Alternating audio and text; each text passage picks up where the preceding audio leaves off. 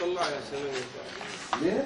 طلع محمد إيه خمسة وعشرين ستة ألفين واثناش مخيم النازحين بدرعا أثار خصف كتاب الأسد لهذا المخيم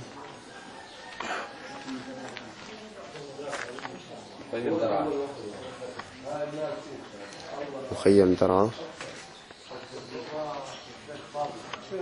خمسة وعشرين ستة ألفين معك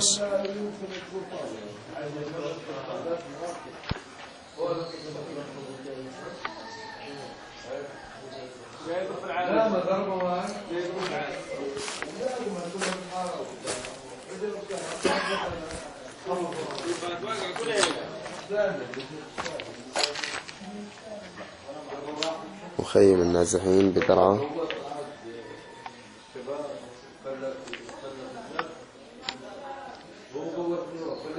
قصفوا المخيم بكافة أنواع الأسلحة الثقيلة من قذائف الأعاون وقذائف الدبابات وهذه هي آثار الدماء. يقصفون المنازل المدنية الآهلة بالسكان بالأسلحة الثقيلة. قصف المنازل بالأسلحة الثقيلة هو من أهم بنود مبادرة أمان التي يطبقها النظام بحذافيرها.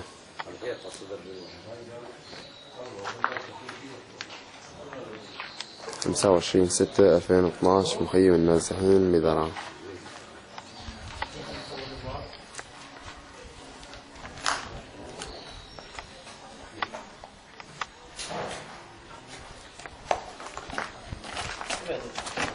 Muito bom.